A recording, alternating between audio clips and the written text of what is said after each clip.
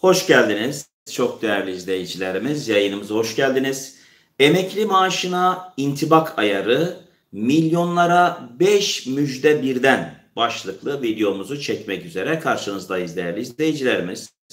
SSK ve Bağkurların maaşını artıracak ve emeklilik şartlarında eşitlik sağlayacak yeni düzenlemeler gündemde değerli izleyicilerimiz. SGK sehven yani yanlışlıkla eksik bağlanan aylıklara mercek tutarak gelir farkını azaltacak uygulamaları hayata geçirecek. Esnafın emekli olabilmesi için gerekli olan 9000 prim gün sayısı 7200 güne indirecek teklif meclise sunulacak değerli izleyicilerimiz. Şimdi bu 5 müjdeyi 5 müjdeli gelişmeyi sizlerle paylaşmak istiyorum değerli izleyicilerimiz. Meclise sunulacak olan ve şu anda hazırlığı yapılan 5 madde şu şekilde değerli izleyicilerimiz. 1. Maaş farkı azalacak. Türkiye'de emekli maaşı hesabında biliyorsunuz 3 ayrı formül uygulanıyor değerli izleyicilerimiz. En yüksek aylık bağlama oranı 2000 yılına kadar olan çalışmalar için uygulanıyor. Onu 2000-2008 arası izliyor. En düşük aylık bağlama oranı ise Ekim, Ekim 2008'den sonrası için uygulanıyor. Bu oranlar 2000 e, öncesi aylık bağlama oranı %70, 2000-2008 arası %65 ve 2008 sonrası da bu %28'e kadar düşürülmüş durumda değerli izleyicilerimiz. Evet, Ekim 2008 sonrasında sigortalılık süresi uzadıkça özellikle asgari ücret üzerinden prim ödeyenlerin bağlanacak maaşında düşüş yaşanıyor.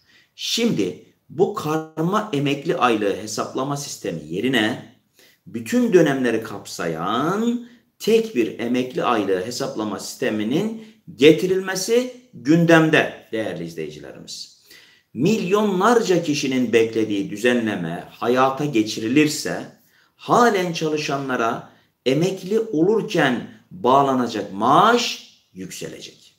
2000 yılı öncesi emekli olanlarda en düşük SSK emekli aylığı 2000 öncesi emekli olanlarda en düşük SSK ile şu anda 1389 lira seviyesinde bulunuyor. 2000 yılı ve sonrasında emekli olanlarda ise en düşük maaş 1020 TL. Tek hesaplama sistemiyle bu tablo değişecek değerli izleyicilerimiz. 2008 sonrasında çalışılan dönem uzadıkça maaş düşmeyecek. 2000 öncesi ve sonrası arasındaki ma makas kapanacak. Birincisi meclise sunulacak birinci madde gündem bu. İkincisi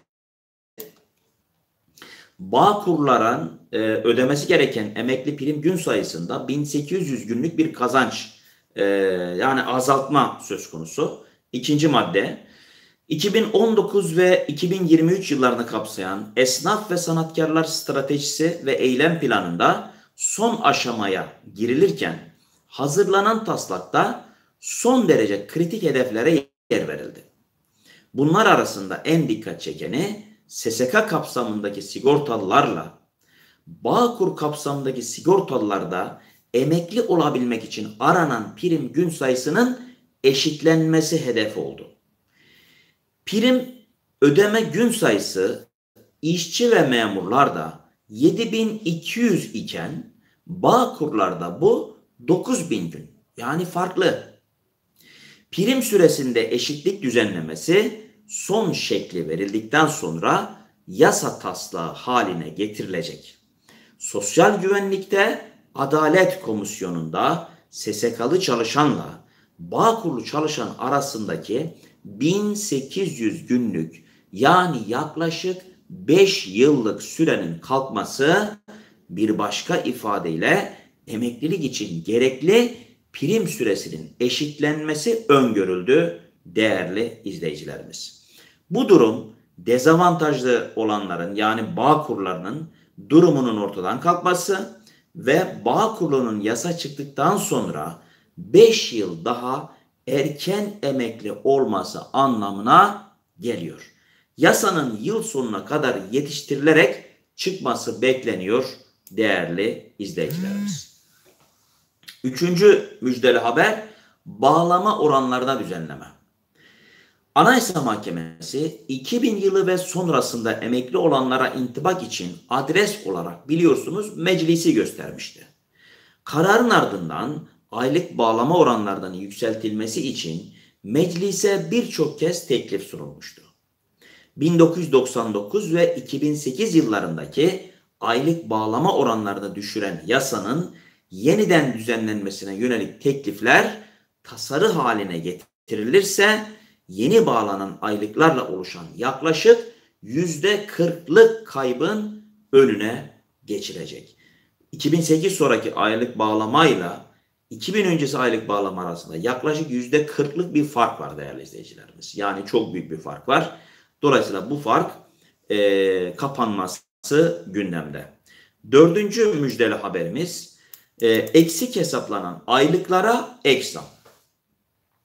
Sosyal Güvenlik Kurumu SGK kayıtlarında bulunan emekli bağkurlara verilen maaşlarda sehven oluşan eksiklikleri, eksiklikleri gidermek için düğmeye bastı.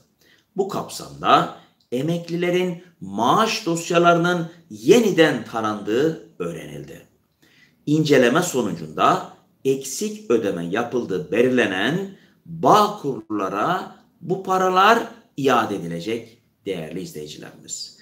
Maaş düzeltilecek, geriye dönük eksik ödenen tutarlar da toplu olarak verilecek. Bu kapsamda 2009 yılında emekli olan bir bağkurluya şimdiye kadar 1305 lira eksik yatırıldığı tespit eden SGK bu vatandaşa toplu olarak ödeme yaptı. SGK'nın taramasını yaptığı Bağkurlu sayısının 700 bin kişi olduğu bildirildi değerli izleyicilerimiz. Evet. Beşinci e, müjdeli haberimiz de şu şekilde. asgari ayar gündemde. Asgari ücret ayarı. Değerli izleyicilerimiz, çok düşük maaş alan emeklileri rahatlatacak formül gündemde. Buna göre tüm emekli maaşları asgari ücretten daha az olamayacak. Bu sağlanırsa özellikle 2000'den sonra emekli olan SSK'lılarla Bağkur tarım emeklerinin maaşlarında ciddi zamlar yapılacak. Şu anda uygulanan net 2020 liralık asgari ücret emekli maaşının da tabanı oluşturulacak. Evet değerli izleyicilerimiz bunlar teklif olarak oluşturulup şu anda meclise sunulacak. Umarım meclisimizden bu kararlar çıkar ve bu müjdeli haberlere e, değerli emekli vatandaşlarımız şahit olmuş olurlar. E, videomuzu yeni açan izleyicilerimiz olabilir.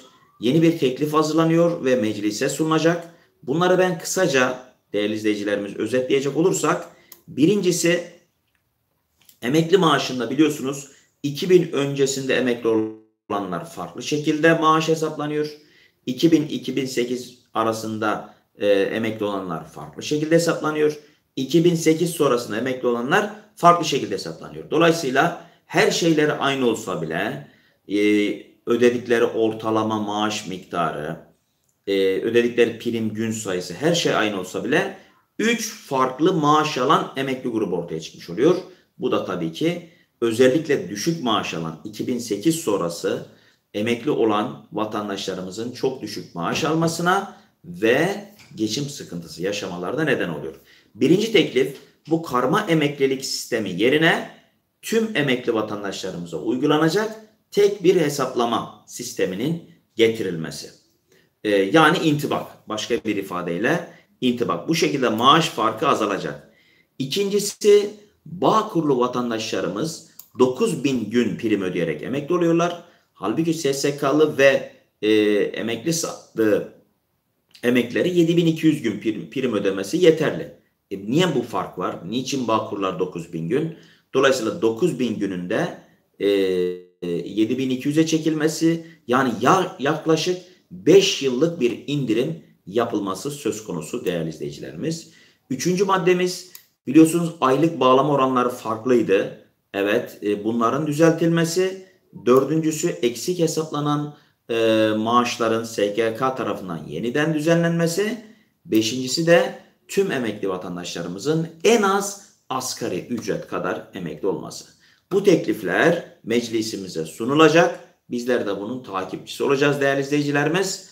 Umarım bunlar sonuçlanır ve emekli vatandaşlarımızın yüzü gülmüş olur. Evet, e, emekli vatandaşlarımızın sesi solu olmaya devam edeceğiz. Onları ilgilendiren haberleri, gelişmeleri sizlerle paylaşmaya devam edeceğiz. Eğer kanalımıza abone değilsek Atasever Akademi'ye öncelikle abone olmayı ama daha önemlisi bildirim zilini açmayı unutmuyoruz ki böyle faydalı müjdeli haberler yayınladıkça cep telefonunuza bildirim olarak gelsin değerli izleyicilerimiz. Yayınımıza katıldığın için teşekkür ediyorum. Gelişmeleri takip etmeye devam edeceğiz. Bir sonraki yayında görüşmek üzere. Hoşça kalın değerli izleyicilerimiz. Hoşça kalınız.